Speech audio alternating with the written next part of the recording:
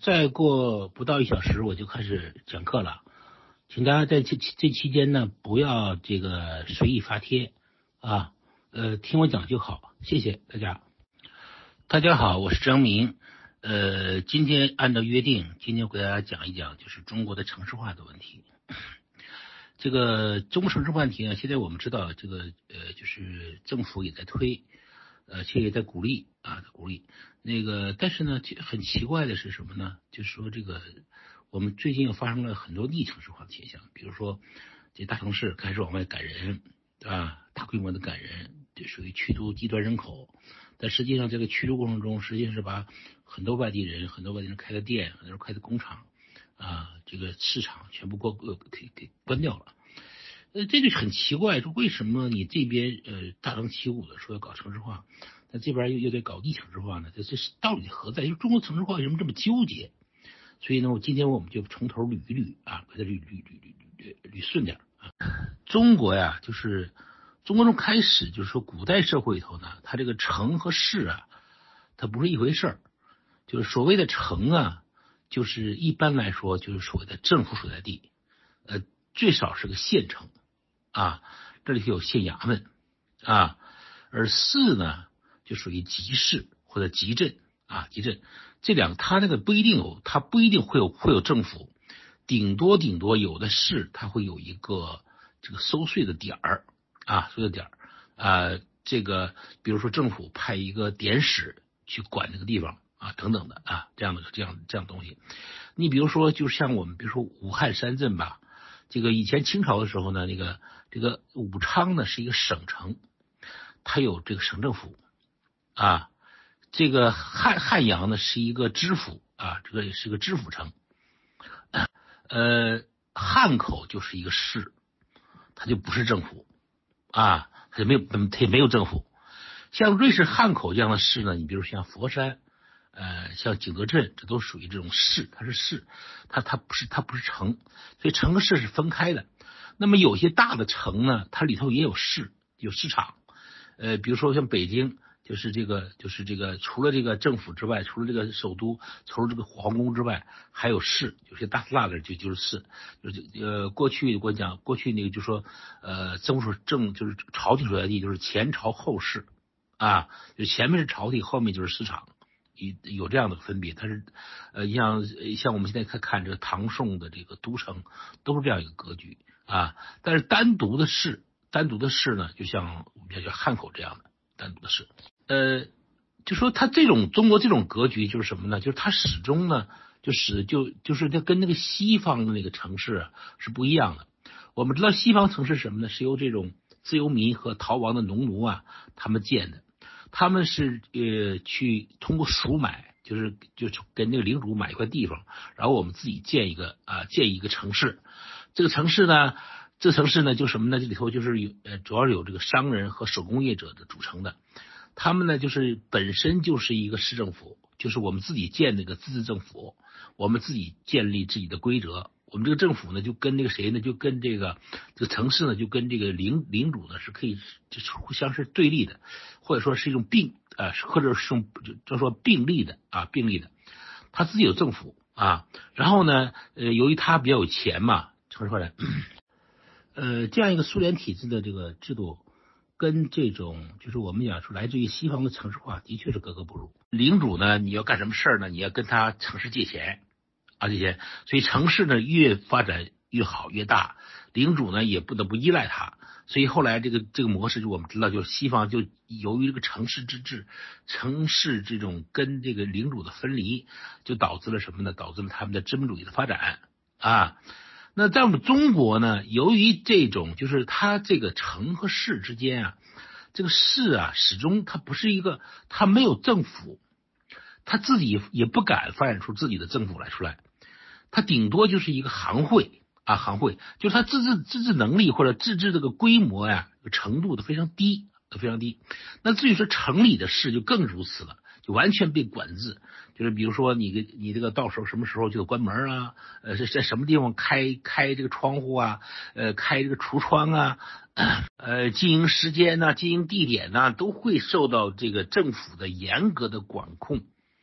啊。自治基本你谈不上，谈不上。所以呢，这就导致了什么呢？就是它这个中西的这个之间这个不同啊，就是说西方的城市的发展可以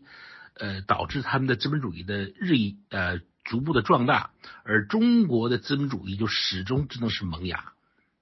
啊。很早就有很发达的发达的这个手工艺工厂，很多大商人啊，你像北宋和南宋，甚至相当规模，政府的绝大部分收入都来自于商业的税收，但是他们就是没有地位，为什么呢？他没有自自治政府，就是商人从来没有自己的政府，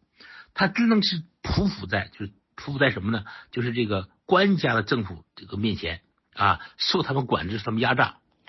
没错，就是这个土地产权问题是一个这个非常关键的问题。呃，政府想怎么地就怎么地，呃，想嗯想跟你征你税，你就老老实交税；想要最后如果是皇帝就要高兴没收你的财产，你也得忍着啊。所以在这个由于他没有自治城市，就是说始终开始始终这种就这种市，就中国这样一种这种市。啊，不是城，这种市呢，它始终处于一种就是这种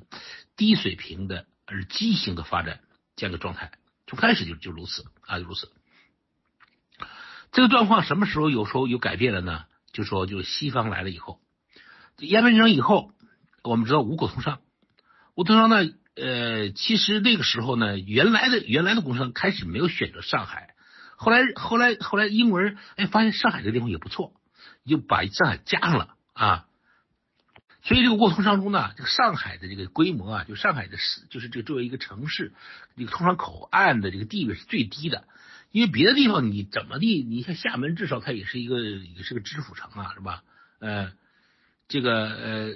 上海这个地方呢，就是一个小县城啊县城，所以它也没有什么问题，就是它它的这个这个口岸开放，它跟广州不一样，广州呢就老闹，老广州和福州呢就是。外洋鬼子进不了城，老呃清廷老是利用什么，老是利用这个这个民众去去去抵制他们。但是上海这个地方就没这事儿，他也不用进城，因为小县城谁进的？我进来干嘛呢？你在城外，就今天外滩这个地方，就给你划划了一个地方，你去住吧，啊，住吧。然后外国人就这这这在这个地方呢，就自己哎，这不是就跟他就按照什么呢？按照西方那个城市那个模式就开始建了。这就是我们所说的租界。属于租界从一开始就变成了一个西方的自治城市的这样一个规模啊规模。那么当开开始的时候比较它就是呃呃开始规模比较小，但是已经已经是有规模了。为什么呢？就是说这五口通啊，就是上海这个地方呢，因为这个地方是个属于这个江浙一带的这个一个这个核心地区啊核心地区，它是长江口，福地远大。而当地呢，它本来有很漫长的、悠久的这种市场经济的这样一个传统，所以洋人在这开开放就开口岸之后呢，这个地方嘿很容易接轨啊，这个市场经济很容易接轨，所以开始它就它就有一定的规模，但是还是还是比较小。什么什么契机使它呃迅迅猛的发展起来呢？就是太平天国这个造反。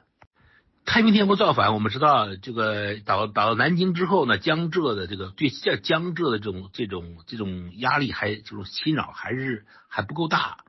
后来这个这个李秀成这个经营江浙省，经营江江南省，就是直接呃把江南的，就是是我们今天讲苏南浙北的大部分地方全部给干掉了啊，全部啊全部占了。这个这个长毛一来啊，它是问题很大。这长毛一来，它这个这个农民农民造反、农民革命啊，就是对这个破破坏当地破坏很大啊，破坏很大。所以当地的那个富人就纷纷的逃亡。他发现呢，这个地方这个地区唯有一个地方是个绿洲，是个战争的绿洲，就是打不进去、打不着，就是什么？就是上海的租界啊，上海租界，这个就是绿洲，你你太平天国打不进来。为什么呢？这个自治城市啊就是这个租界啊，已经借助于这个呃少量的这个呃洋兵啊啊的驻军呢，他们自己也有有有一些自卫队，他们就就不让太平军打进来，太平军也就真的打不进来啊，打不进来啊。他们也有有，就如果说倾全力打，也当时也不也不是不行。但是因为他们讲，他们都是洋教的一个兄弟嘛，他们都是信基督教的。李秀成开始没有想认真打，等到认真打的时候，已经打不进去了，因为外国人加强了守卫啊。所以呢，这个地方成了绿洲了。于是呢，有钱人就纷纷往这跑。呃，能进上海也最也也行。如果进不了，呃，如果上海如果能进一步进到租界里去，那就更好了。所以租界原来是洋人在的地方，后来就变成了中国人有钱人在的地方。洋人就纷纷把这个盖了房子租给租给英国人，中国租给中国人住。后来中国人也买了地，在当地买了地，自己盖房子等等的。所以这个有钱人来了之后呢，这个地方呢，这个上海的城市化呢，就一下上了个台阶有钱人来了。对吧？有钱人来了，就钱来了，能人也来了，所以呃，上海尤其上海租界的这个商业工商业的发展呢，就迅猛的呃搞起来了，搞起来了。那么，他这个就是这个时候呢，就我们看到，就是太平天国结束之后，上海就已经了不得了，就已经成了一个几十万人口的这样一个大都市了。因为那个时候，你想想看，呃，整体上这个城市的规模都比较小啊。如果能有几十万人的话，已经很了不起了。那么这个时候呢，就是我们看到啊，就是这个时候呢，就是呃，就是最早的就上海的工商业呢，就是我们看到他最早的那一批人呢是谁呢？是粤商啊，就是中国商人是粤商，就是那个广东商人。广东商人主要是那个就是今天珠海附近的，就当时叫海海南。海南县的这一批人，为什么还为什么这么说？他是靠近澳门那一批人呢？是原来就给谁呢？就给这个呃，就给那个澳门的洋人做买办的啊。这批人，这这批人呢，就给他们呃，他们他不怕洋人啊。所以上海的这个就是中国商人呢，最早的一批是这批这批人，所以他们就跟着洋人过来了。过来之后呢，给。一般一一边给洋人呢去做买办啊，就是去给人帮人倒东西、帮人翻译什么的啊。另一边呢就自己开厂子办，开厂子、开商呃开客栈，就是他是呃，但是呢，他们这个广东商人呢到上海之后呢，他是呃虽然是第一批是他们人，但很快就被什么呢？就被这些呃汹涌而来的这些江浙商人啊，江浙或者是江浙财主呢给取代了。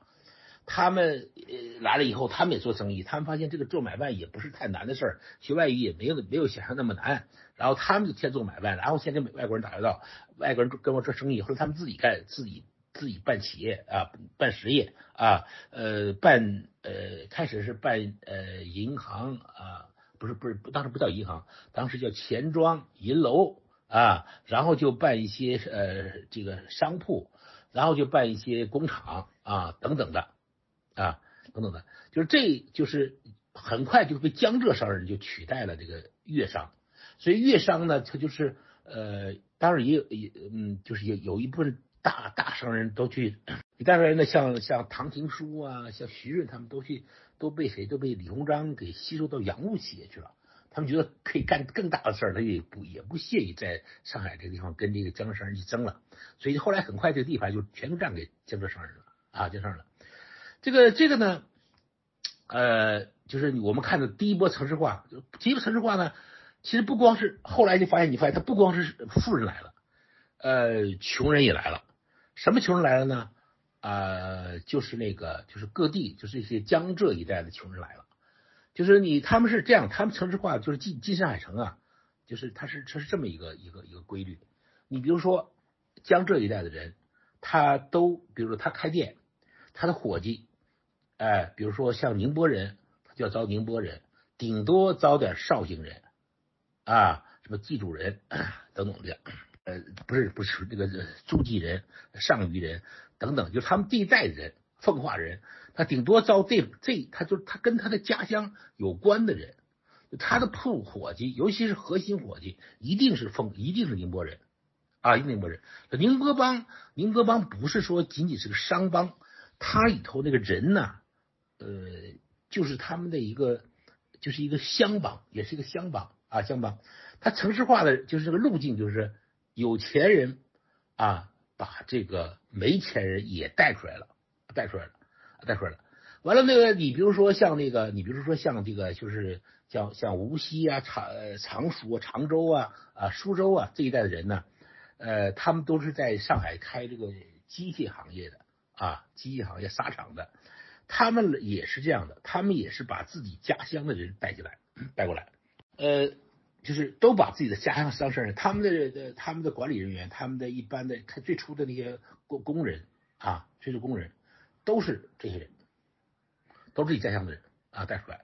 完了你比如说像扬州一带的、镇江一带的，就从事什么一行业呢？从事那种叫，就比如说这个理发呀、洗澡啊、剃头啊、啊修脚啊这种行业，这种行业呢，这种行业是被这些人给包了啊，他给包了啊，扬州这一代人给包了，就是我们叫书中一代人包了。那书中呢也是这样的，就是有钱人把这个没钱人也带出来，就这行业的人都是。从大的、小大的，呃，大老板、大老板到小伙计，全都这这这这帮人啊，这帮人啊，这帮人啊，就什么呢？就是苏北人比较穷，没他没什么富人，没什么富人呢，就只好到上海来，就比如说干什么呢？就拉车、大型车啊，到码头扛包，嗯就是他们是干这个，干这个就没有大老板，但是呢，他们有什么呢？他们有这种帮会啊，你比如说当年当年青红帮，就是青帮。青帮有有一个很有意思的大亨，这大亨呢跟他们那些跟那个什么跟这个杜月笙啊、黄金荣啊、张小林他们这帮是大亨不太一样啊，不太一样。他就是一个包头，就是一个黄包车夫的国王，黄他是苏北人，所以黄包车夫呢都跟他都跟他，所以他呢你别看他土头土脑的，但是在上海确实是也是很有势力，因为所有的黄包车夫全听他的啊，听他的。就他跟他就从这个，就是这这样一种方式就就搞，那个人呢，呃，在这边呢，就是说你你你你你富人呢，反正就是你来了以后呢，你肯定是住这个就是租界嘛，住住洋房啊洋房。那穷人呢，就是住棚户。平时呢那些事儿，平时比如说有什么纠纷了，你就请乡绅来去呃调解。你有家里有什么有什么红白喜事什么的，要乡绅来主持。等等的这些事儿吧，就乡村这些事儿，你乡绅就是就是领袖，你是文化领袖，又是又是政治领袖啊，你又是经济领袖，你你还你还是你还要管这些这个慈善事业，你比如说互呃有些穷人的呃这个互助啊，就穷人这个帮助啊，救济这个孤寡孤独啊啊，这个有些人这个上学啊，这个穷人上学上上几学，你要帮忙啊，呃发生了灾害呢，你要救灾呀，呃修桥补个路啊，这些你都要管，反正就是说。它就是一个乡绅自治这样一个社一个一个社会，呃，但是他们城市化的时候，你我们看到他还是按照这个路径走的，啊，他并没有真的把这个乡绅自治、乡绅领导乡民的这样一个结构给打碎，没有的。那么这样的城市化呢，就是说我们看到实际上是，你看的好像这个上海乱哄哄的，花样杂处什么都有，但实际上内部它是有序的。它一层一层的，你什么样的人住在住在什么地方啊？你什么样人听什么样的话，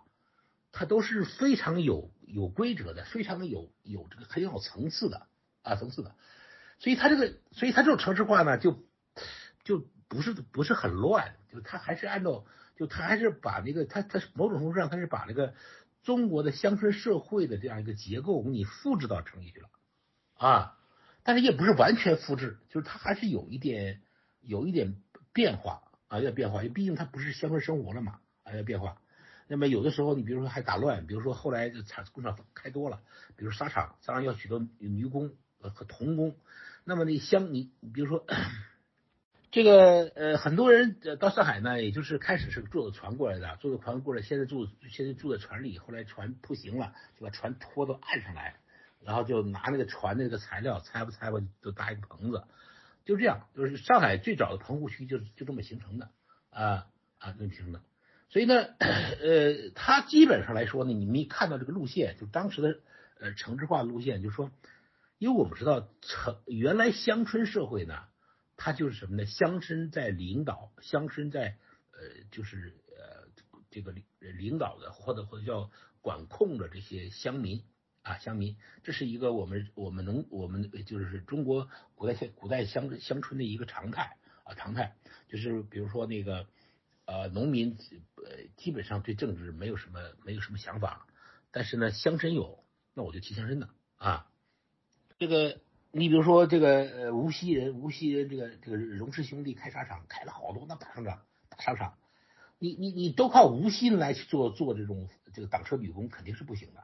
也没那么多人，而且很多很多无锡无锡人相对来说比较富裕，很多人也不愿意干这个啊，因为干这个挺苦的。所以就是那个苏北人，或者是更更山东人，你逃逃难过来了，你过来以后呢，你就可以干这个，可以干这个。那这样呢，就是说，但是就形成什么规规则？就是你这个无锡人肯定是工头是他们的，或者是机修工人，比如这个砂砂呃纺纱机的这个机修工人肯定是无锡人啊，肯定是无锡人。就就是说是呃熟练工人也是也是也是无锡人，但是那些非熟练工人或者是一般的有童工女工肯定是外地人。他也是分成的，也是也是有一种，也是有一种他内在的这个秩序在在里头啊。他这个，所以我们看到他这个就是就是这个城市化呢，就是城市化以上海为例，他就是按照这个路线来的。当然这里头还有其他行业，比如服务行业。我刚才我说了一些这个什么修脚啊、理理发、澡堂子，其实还有更更多的其他的服务业啊。比如说我们说金融业是服务业，但是金融金融业基本都是什么呢？基本都是这种就是被这个。就宁波人垄断了啊！你非在上海金融业，你非宁波人啊，因为因为因为浙江人是这个在上海这个这个移民圈里头，他是整个那个最高层，就宁波人最高层的，他最高层就是因为他把持金融，后来从钱庄喜银楼就变成银行了，这个金融业也都是这这这这这些人啊这些人，所以他就是呃就在最高头，就是就就就是金字塔，他是顶上啊顶上。啊，比如还有其他的，还比如说我们还有这个，我们上海还发花业，就是那个娼妓业，娼妓业很发达。上海娼妓不是一般的发达啊，而且它里头也分成很多层次，很多很层次。你比如说，它叫呃，就是它最高的就是那个就是叫叫书玉啊，然后就是长衫，然后是幺二啊幺二，呃呃都有各自的这个服装，各自的讲究啊，都讲究，然后各自的文化。那它来源也不一样，就是一般来说，一个苏北的呃一个妓女，你你不大可能成为长山，成幺二都很难啊。呃，这个行当也是，就是它也是也是相对来说也是这么一个，也是这么一个一个一个一个一个类似的就是很有很有层次分明、有地域有地域有地域区别的这样一个呃一个一个架构啊架构。那么呃后来其他地方。呃，就是比如说像我们那个时候的呃比较发达的呃这个这个沿海城市，比如说像天津，天津是仅次于上海的啊，现在上是天津是衰落了，但是当年的时候仅次于上海，就是它因为就是你记住啊，凡是上凡是有租界的城市，它都是很会很发达的啊，就是首先这个城市的呃就是它能够搞起来，就是因为呃首先西方人。把这个什么呢？就把这个西方城市的这个模式给引进到中国来了。所以有租界的地方一定一定很发达。比如说像天津，比如说像武汉啊，尤其是汉口，就很快就发展起来。就是就是就他他，如果你还按照过去中国城城市分离的这样的模式，肯定是不行。那时候我记得他们就是他们那个学徒啊，从学徒生来的是一大块。留学生跟学徒是几乎是并重的，就是这商业巨子，就是出身学徒的和出身留学生的是一样的啊，差一样多的。因因为学徒他是也是就是就是从别包括那个钱庄的学徒，就金融业的钱学徒啊，呃，银行的学徒啊，这个呃，比如说这个这个开工厂的啊那个学徒，呃，这个比如说开这个比如说开印刷厂的，比如说开书店的。全都是学徒制啊，学徒制。但是呢，他确实很多老板就是学徒出身啊。但是呢，洋学生也在这里头占一个份额啊，洋份额。很多老板本身就是洋洋学生，比如说那个，比如说像刘刘洪生这样的，就是洋学生啊。呃，这个吴润初这样的洋学生啊。这个呃呃，你像当年那个陶希圣，后来当过国民党的外交部长，不是外交部长。呃，宣传部长陶希圣，陶医圣最早就是去到商务艺术馆去批批去应聘，他当时还是很生气，说那个说这个说我他是北大毕业，北大北大的高材生，但是北大毕业的那会儿不行，地位很低啊，地位高的写在哪儿呢？那个教会大学的，或者是留洋的啊，说留洋的回来以后，马上有一个办公桌啊，呃，他们只有一个抽屉，呃，留洋回来有一个沙发沙发椅，他们只能坐一个条凳啊，工资也差异差别，人家啥一一个月一百二十块钱，他们只能四十块。所以你你别觉得北大是个很牛的学校，在民国它不算什么，它跟圣约翰跟那个吉林大学比都不能比啊，都不能比。这个就是他他是他他反正你可以上，你可以就是你可以上升，不是说呃这个呃这个阶层这个分明之后呃地域分明之后你就不能上升了啊，你可以上升，但是基本上是按照什么呢？就按照在自己那个圈里头。你比如说宁波人，你就就进入你就进入金融圈，在金融圈做学徒也好，你是留留洋也好，反正你你要能干得好，你就能这升升上去。但如果你是个苏北人，那你要想挤到这里头了，挤入这里头也不是不可能，但是理论上是可能的，但是实际上确实是千难万难啊，千难万难。呃，但是你在你那个圈里头可以，你可以混，你可以混得很好啊，你可以慢慢从底下往上往上走，它不是一个完全封闭的体系啊体系。所以它这个就是那个时候的城市化呢，就是这个整个的那个，就是它的这个，就是它这个这个这个这个那个规划这个编制，或者说叫我们讲的这种那种框架，就是这样一个框架。这个呃，我我必须强调，还强调一点，就是说，这为什么那个时候的城市化，它就是我们看到跟古代是完全不能比了啊。因为这个时期城市化一下子出来出来这么一批沿沿海沿江的这个大都市，呃，它其实就是因为什么？就是因为外国人拉动，就是租界拉动的，包括城市建设都如此啊，城市就如此，都是先租界有了，比如租界修公共厕所、修马路、安路灯，比如说搞这种城这个城市规划，呃，城市卫生的建设，就是。这个呃城市规约的这种这种建立，这些东西都是租界先搞，然后租界搞完了之后呢，华界跟着搞啊跟着搞，要不然的话我们城市就一塌糊涂了啊一塌糊涂啊，就是就跟北京一样啊，所以这呃八国联军刚刚打入北京之后，发现北京真是个臭城，到处人们到处随意大小便，也没有马没有马路，没有像样的马路，也没有路灯啊。没有路灯，臭烘烘，臭气熏天，所以他们没办法，他们逼着他们去帮中国修马路，帮修安路灯，完了修公厕所啊，都是按照这套来来来的。在所以后来北北京才好了一点啊，就北京才好一点。所以但是很多中很多中国人很不高兴啊，你洋人来了之后，我随地撒泡尿都不看都不行了，你你就你要想打我啊，所以所以就很觉得很很不爽。是不是，但是他适应了之后呢，他发现，哎，这样也不错，至少那个这公共公共卫生好了啊，完了那个你马路也干净了，也没那么大味儿了啊，就慢慢就适应了。大家还是觉得文明要不不不不文明要好一点。这个呃，但是像上海这样城市呢，像天津这样城市呢，很快就跟西跟租界学的很很像很像的了啊，很像很像的了。所以呢，它的城市发展呢就比较快。啊，比较快，就是人口膨胀也很快，很快。这个，但是呢，整体上，由于这种就是外国人移这种移植，这个呃租界移植这个什么呢？这个这个规模呢，它没有那么大。你就像厦门就是一鼓浪屿一小点，它又是它它就不像上海在外滩，它跟这个华界接着的，你学起来好学，人往里进好进。你这个鼓浪屿那么小小小岛，你一封闭，人家你自己关起门来就自己玩自己的了，那你就对你的华界的辐射就没有了啊。还有就是说，比如像广州的沙面，沙面一个小岛啊，对不对？你自己在这建个租界，然后对这个对这个华界，对这个呃中国老百姓住商人住的地方，你就没有没有辐射呀，你没有辐射，你也就没有影响。所以他呢，你看我们看到就是广州也好，厦门也好。在这个以前的时候，它这个这个城市化的发展就很不充分啊。那福州就更更是如此了，福州那个租界几乎就没有，所以它就就所以它这个就是整个就是它就白吴淞上它白开它白开放了啊，开放了。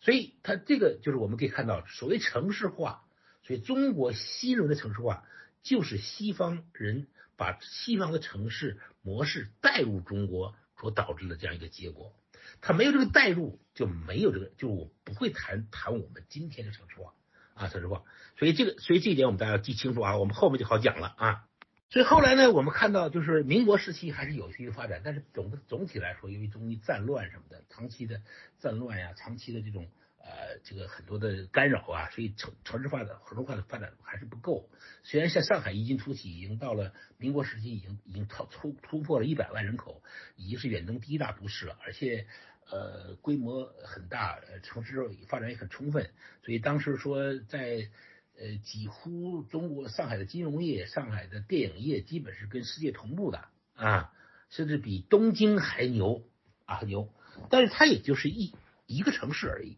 啊，或者也带个天津，整体上中国城市的发展，它还是不充分的，城市化不充分的，就是这个就是西方带入不够，而且整整体的城市经济发展也不够啊，所以中国一直到四九年的时候，基本上还是个农业国。那么共产党得天下之后呢，他也是想搞工业化，也想搞城市化，这点他并不是他并没有什么，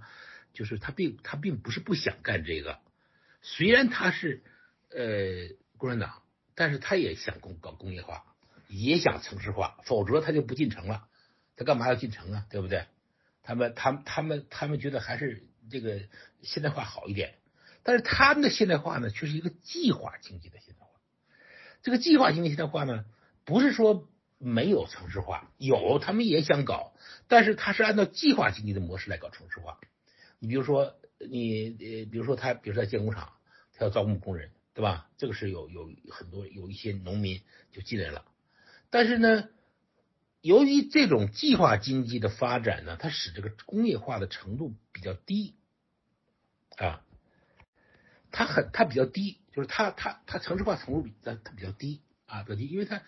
计划经济我们说计划经济它是一个短缺经济，它是一个不发达经济，就搞不起来的经济，就是它没有人的。这种商人的积极性的这样一个经济，他把他他就把他他把商人都都给消灭了，直接把商人给消灭了啊！这个这个哎，有人提问了，不要提问啊！等一会儿你们再提问，等我讲完了再提问。你这么讲，你这么提问，待会儿我怎么回？我现在怎么回答你啊？啊，不要讲啊，不要讲，跟咱说好了，规则咱们说好了，咱们守规则，你不守规则我就没法讲了啊！就是他这个计划经济是一个低城市化的工业化。那么工业化也不充分，它真的是靠我我我来建，我我比如说多少多少项目我来建，我建完之后，这个东西是我产品是是是那个是按计计划调是调拨的，这个计划调拨，这工厂本身生产也没没有积极性，你上头不不拨款，你不建我就不建，本身产品的质量、产品的数量都保证不了，所以它这个呢，就是它是一个低低，就是这种工业化是个就是那个低烈度的。你当然是，当然是共产党曾经想过那种通过他的自己的这种呃传统，就搞群众运动，大帮混，搞工业化，就是我们讲的呃大跃进的时候搞那个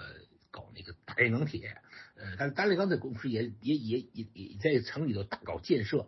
啊，就是我们叫十大建设，好多农民都因此进城了啊，建了好多好多的工厂，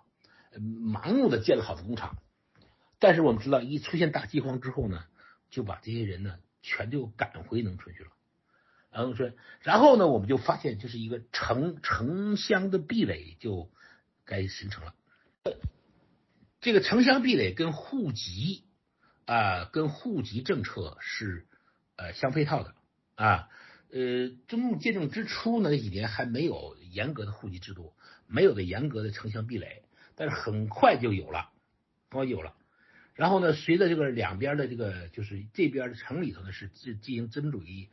工商业的改造，这边就是搞这个搞合作化，呃，搞合作化，就是然后就呃就完全把这个呃中国的城乡就纳入了一个呃叫做呃计划经济模式的呃管理网络之中啊，管理网络之中了啊，网络之中，就是所有的人。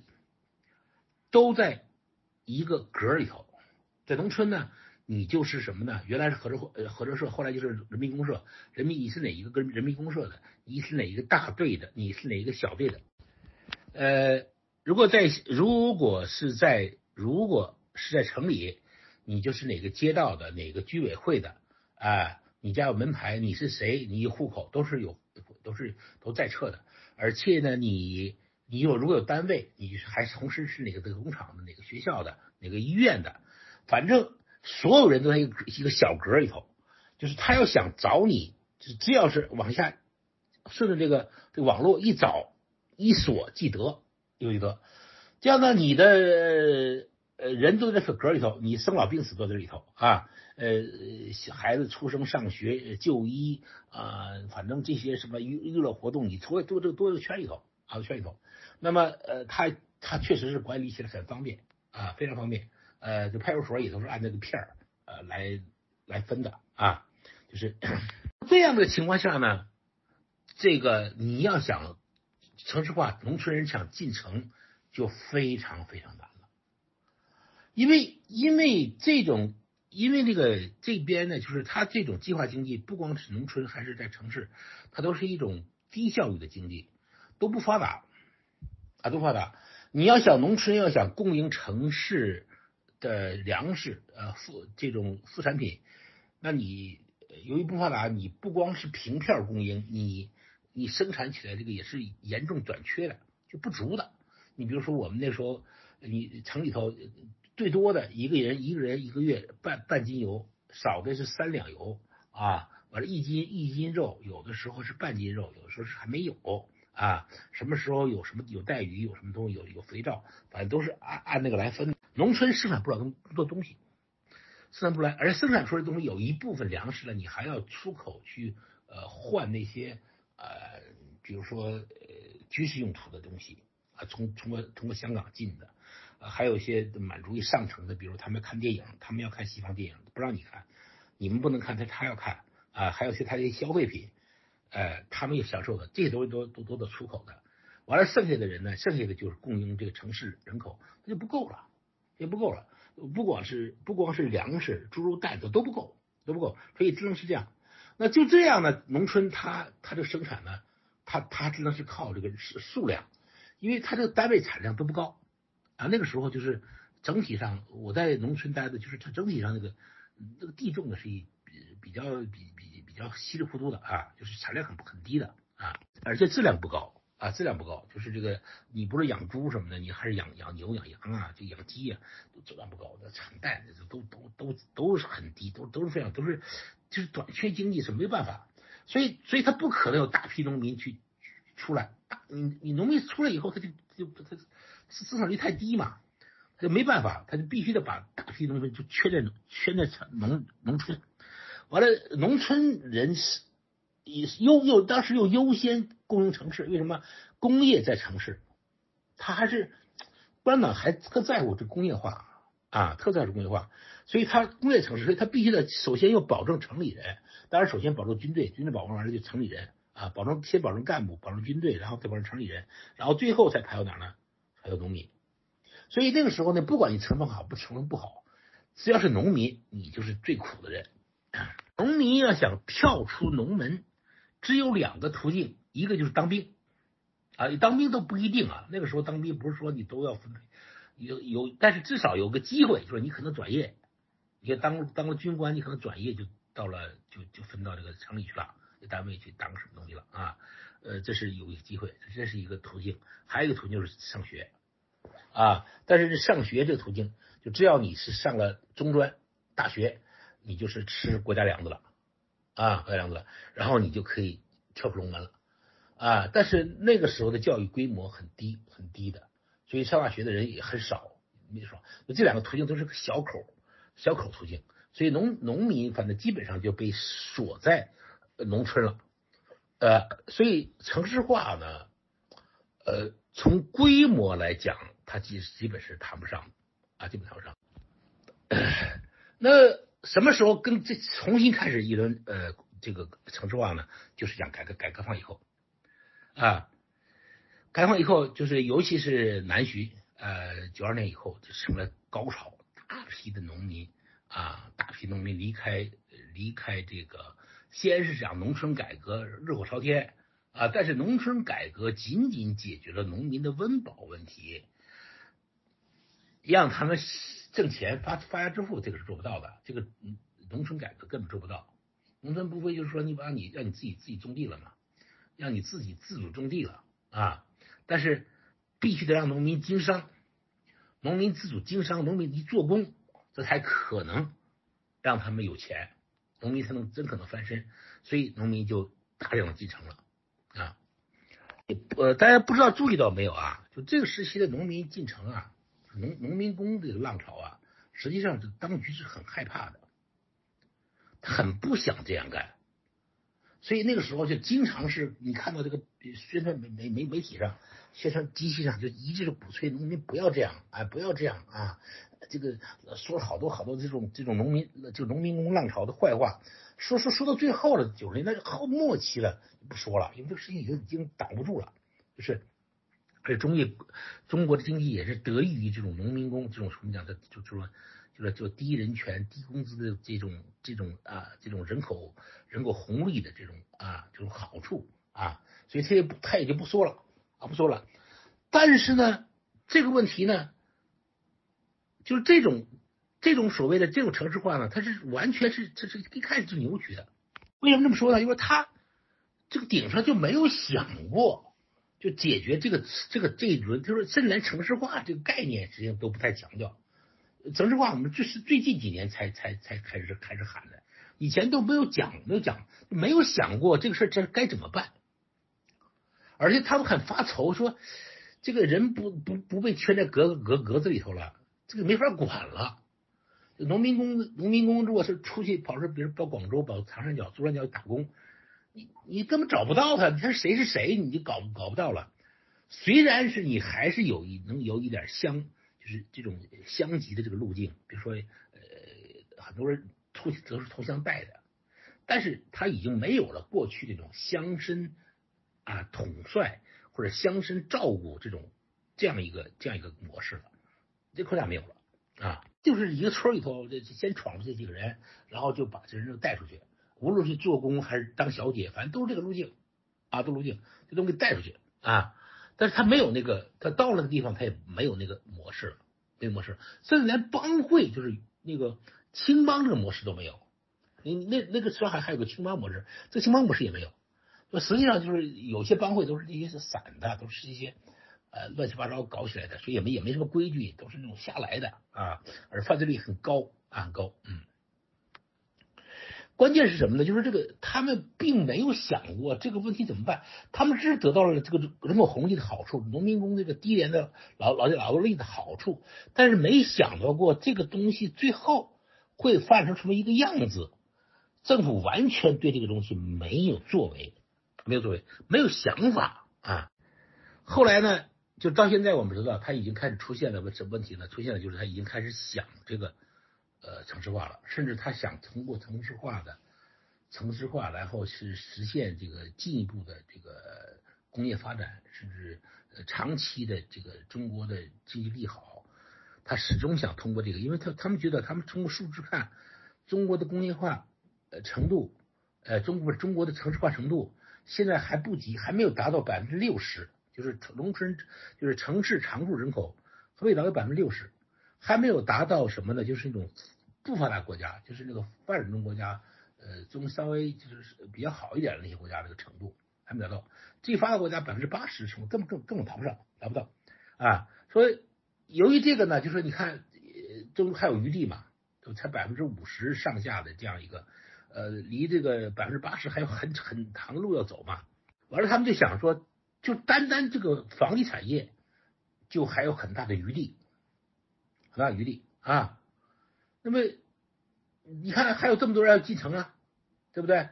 进城之后，如果达到八百分之八十的话，还有百分之将近百分之这个三三十左右的这个人要进城啊，那这个房子不是什么盖房子，房产业不是还还有很大余地吗？对不对？这个呃，当时发展房地产业就是把这个算进去了的，就这样就这么想的。而发展房地产业那个农这个这个这个政府是非常非常高兴的呀。都卖地，他要挣大钱了呀！啊，最大的一块蛋糕是被政府切走的，很高兴啊！呃，就所以就后来就我们知道，就这个这个城市化就死到神上了，就开始喊了。但是问题是我们看到什么问题？就是说这个城市化的这个基本条件，中国实际上并没有准就没有做好，因为城市化它不是一个单纯的问题啊，它不是农民就进城了就完了的，它有什么？它有个政治条件、社会条件啊，还有法律条件。你比如说，就是我们能看到的很很一个很很很简单的问题，就是说土地私有化的问题。那么一般来说，土地私有化是城城市化的一个前提啊，前提就是说这个农民啊，他要进城，无论他是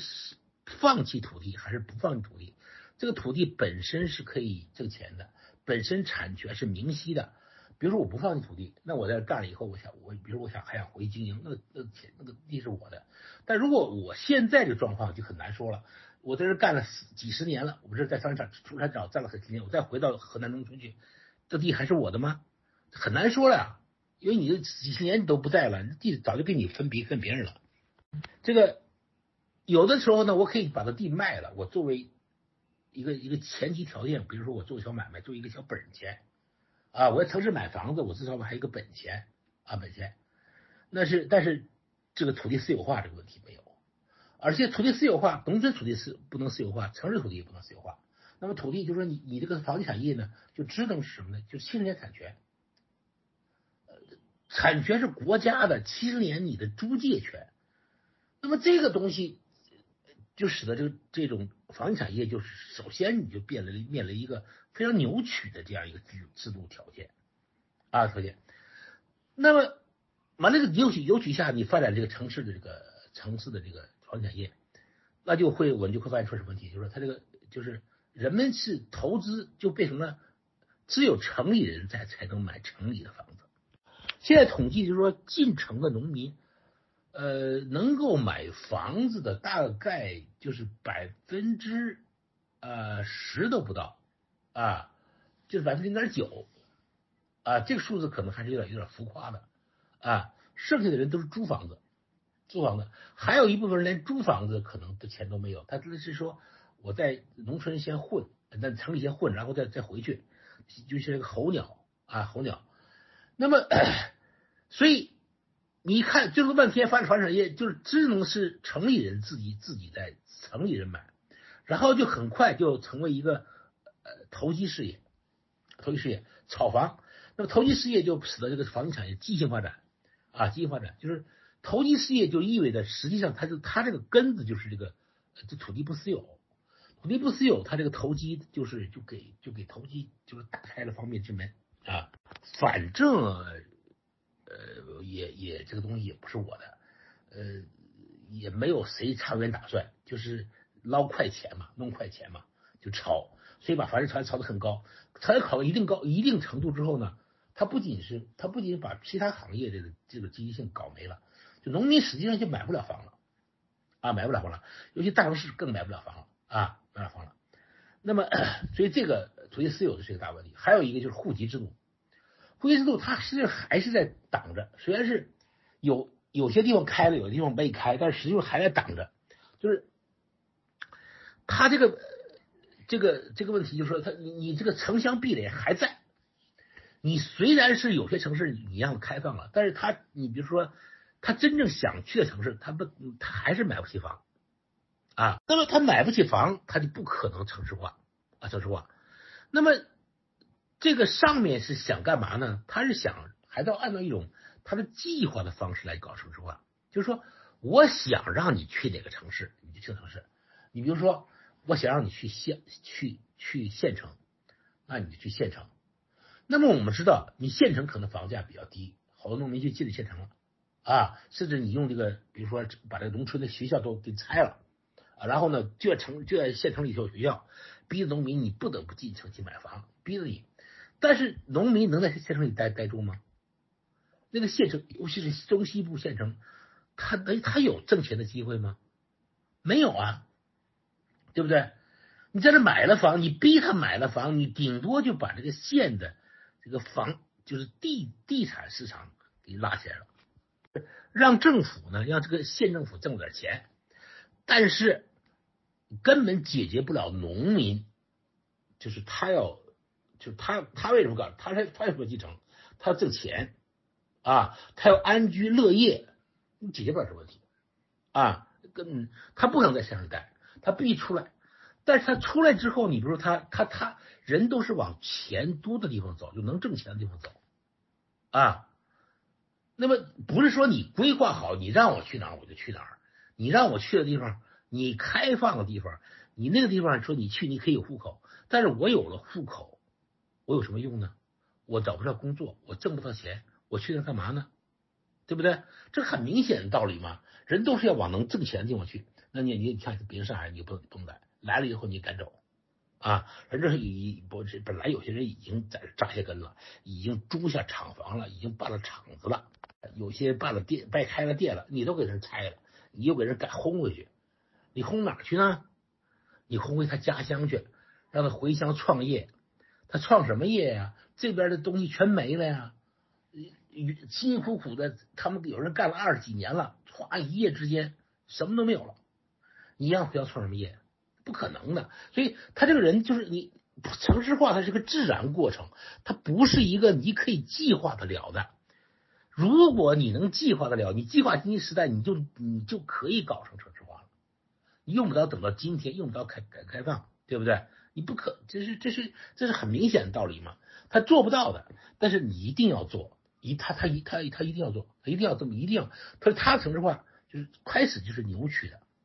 啊就扭曲的，就是他这两个，就他的条件根本就不具备。这个正因为这个基本条件不具备呢，就是就使得我们这个就是而而且就是而且我们有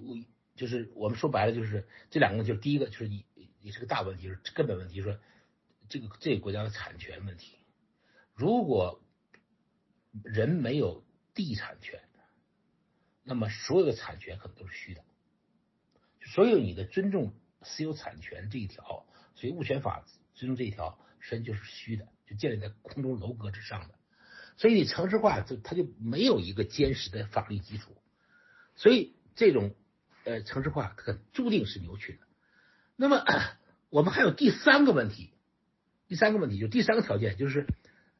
就什么呢？就是我们是长期实行计划生育的。我们计划生育的结果什么呢？就是说，就是不管城城里农村实际上也是计划生育的，人口就是人口很很少，一个家人口很少，一个家庭一个或者两个啊两个。那么这种情况下呢，实际上就是说使得这个就是呃就是什么呢？就是他他他不仅是城里人，你比如说我们。就是这个第二代就不太爱吃苦了啊，创业精神就差了啊，城里农村人也如此啊，是不是说他就造就了一大批就是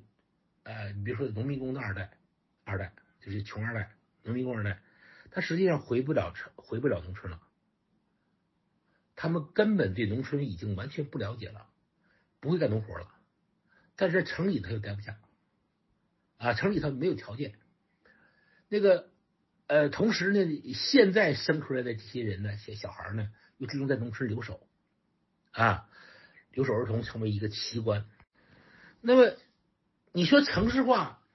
城市化很简单呐，就最起码的进城。你比如说当年民国的时候进城，他哪怕是个棚户区的，也有人给他办学办学校嘛，对吧？就是办学校，办平民子弟学校嘛，给你办嘛，对吧？你还可以骨肉团聚嘛，在一起嘛，对吧？那么我们现在就只能是分离的，分离的。如果在城里头，你你你你就没地方上学。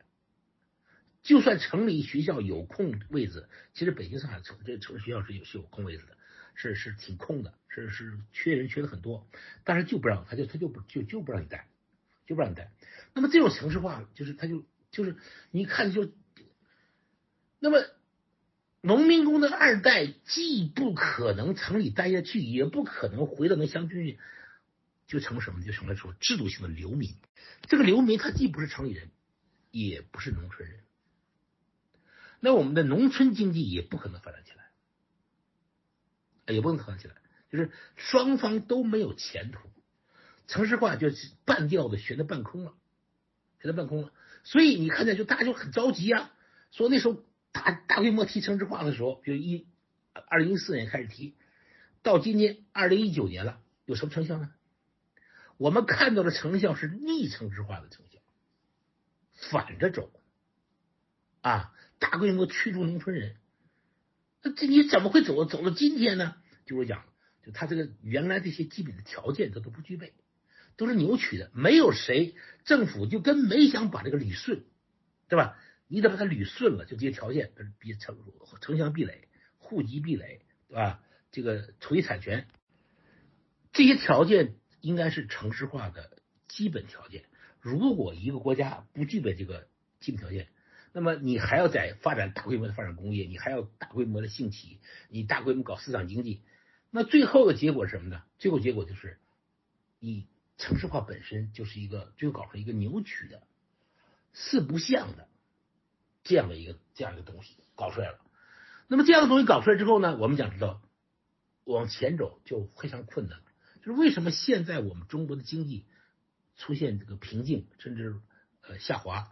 它很多都是结构性的，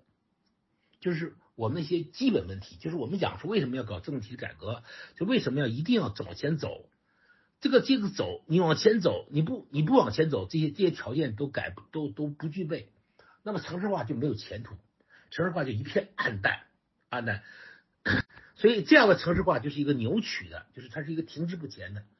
不管你怎么折腾，不是也城这边要要求什么高端人口啊，这个各个城市在拉人呐，什么大专可以到大大学可以毕业，甚至像武汉可以降级到大专就可以落户啊。你无非就是想人去给你买你房子，无非就是把老百姓手口口袋里最剩下的最后一点钱，把他们榨干净，然后把你那些呃多余的房地产剩下钱。买给他给他买下来，但是这个东西没有用啊啊没有用，因为它实际上并没有城市化是解决，不是说解决这些这些大学生的问题，它主要是解农民进城的问题。农民进城的问题如果不解决，这城市化是根本就没有戏的啊没有戏的。那么所以说现在我们当然我们这里头呃呃小问题还有比如说像那个。啊，比如说像那个，就是原来那个乡绅这个结构被打碎之后，就实质上把这个就是打碎，就破碎的乡村，然后呢直接接接这个就是大规模的这种城市化，它肯定是要导致这个秩序大乱。说很多人很多人就很多这个说管理的大乱，说这犯罪的呃率高，说这呃犯人也抓不到，所以就只好在城里头到处安这个摄像头。呃，其实这个问题管管理不不行的问题，实际上是跟这个中国社会结构原来的时候。传传统社会结构被打碎，跟这个是有密切关系的啊，所以这些东西都是，但实际上都论在一起，论成一起，都是说你这个条件不具备。你要想把城市化往前推进，就必须把这个条件解决了，把这些路障全都扫清楚。你如果不扫清路障，这路障就而且这个路障的这个明显就是阻碍这个进步这个这个程度就越来越明显，所以它就永远就没有收支。呃，好吧，我就讲到这儿吧。就是大家，谢谢大家能够听完，呃，这一小时啊，不，呃，这个能听我啰啰啰嗦说说讲这么多啊，谢谢大家。